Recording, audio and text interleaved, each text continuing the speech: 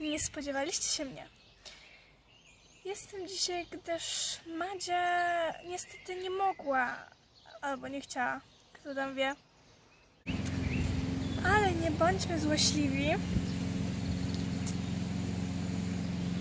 Nagrywamy gdzieś na dworzu, więc mogą być przeszkadzajki. Jak kosiarka. A poza tym zapraszam Was na czołówkę. No i zapomniałam.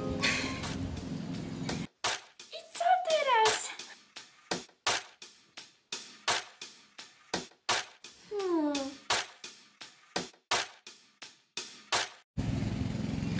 Dzisiaj powiem Wam o... Chwileczkę.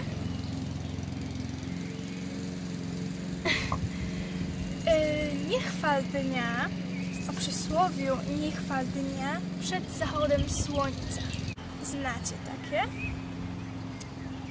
Nie, żebym lubiła się chwalić, no ale mi wpada w ucho.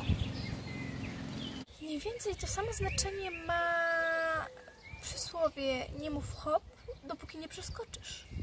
Drogie dzieci, chodzi o to, żeby nie chwalić kogoś lub czegoś za szybko. Może być tak, że kupimy nową zabawkę, autko, lalkę czy cokolwiek innego. Chwalimy ją, zanim ją użyjemy, zanim włożymy ją jeszcze do wózka na zakupy.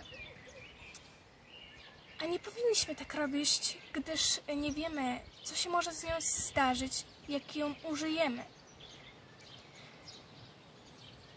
Może nie być taka wytrzymała, jak ją chwaliliśmy. Autko może zrobić pach.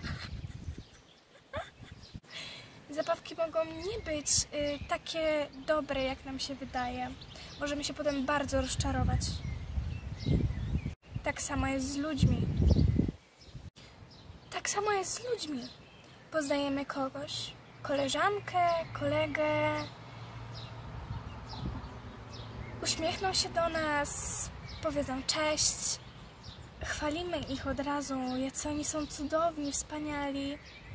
A po jakimś czasie pryska nasza radość.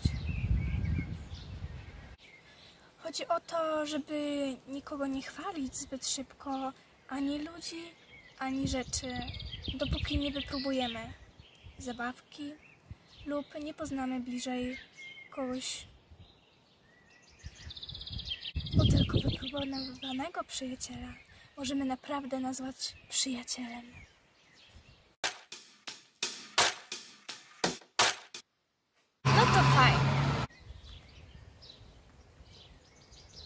Cóż, też się trochę dokształciłam. Co moi, moje drogie dzieci, pamiętajcie, mamy czytamy dzieciom w sobotę. No i oczywiście mądre słówka w czwartek o 14. No to co? Jeśli się podobało i czegoś się nauczyliście, dajcie suba, łapki w górę i naciśnijcie dzwoneczek. 你好，狗年，拜。